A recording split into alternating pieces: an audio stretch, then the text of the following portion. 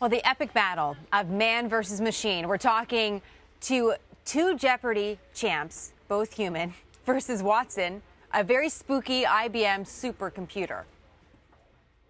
It developed from a dialect of this Semitic language. Watson. What is Arabic? You are right. Watson. What is ancient Greek? Yes. What is broke the bank? You got it. What is United Airlines? What is agricultural? You are right. Watson. What a know it all, right? In the end, Watson won. Dennis Kneale is with the Fox Business Network. Uh, Dennis actually told me that Watson was cute he was really cute. Come on, Dan. Dennis. He's got spiky hair, and when he was thinking, it'd be scribbles of purple and, and, and, blue. And then when he was confident of something, he would go green. And sometimes when he would guess, he would you turn You have a cyber yellow. crush. That's was, what you have. Uh, he is the greatest. You know, he's kind of a mix between Hal and Wall-E, that, that, that Disney character. Look, this is a huge win for IBM. It really is. And I think even some IBMers are surprised here. Uh, understand that Watson got 62% of all the money, won in two days. He got $77,000. That's three times as much as the number two guy. And he goes in the last. Uh, uh, round with 23,000 bucks, and he bets over $17,000. So uh, I think he did really well. And uh, you want to know uh, actually what he what he knew? I'll tell you what he knew. Uh, we might have a full screen on some of this stuff.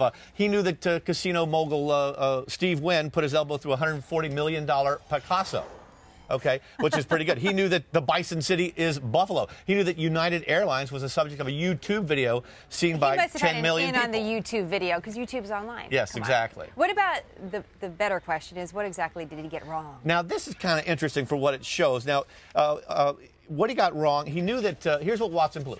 He knew he didn't know uh, he didn't have the answer for rapper uh, 50 Cent. They beat him to the punch on so that. So he one. didn't know anything about rap. Although later he guesses at CeeLo Green. You can see him calculating. He has that name CeeLo Green. He didn't know that address is a shift. It was a Ooh. category looking for what words appear on your computer uh, keyboard, but he didn't know what a computer keyboard is really.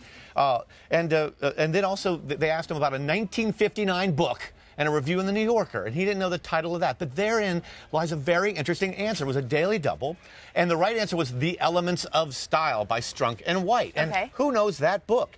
This guy, though, the computer, he looks at it and he says, mm, and, and, and, he's only got a 14% shot of his answer. He said, let's go ahead and can we try what is Dorothy Parker? Now, Dorothy Parker was this writer, of The Vicious Circle, and, and she wrote for The New Yorker with brevity and clarity. Two of the words were in that clue. It's a very intelligent guess even though it was wrong. So, a big win for IBM, does that mean a big loss for humanity, or are we actually going to benefit from the this fact that these such computers a benefit are... to humanity. IBM announces today a big research pack to go into health. You know, this will be in your doctor's offices. You'll see this within two to three years on helplines. This will, you know, uh, let's remember that Watson, as smart as he is, he was created by human beings, baby. Okay? We're still in control. Not to worry. And he's still cute. Yeah, he is so cute. Total you got to love that guy. Crush. Total crush.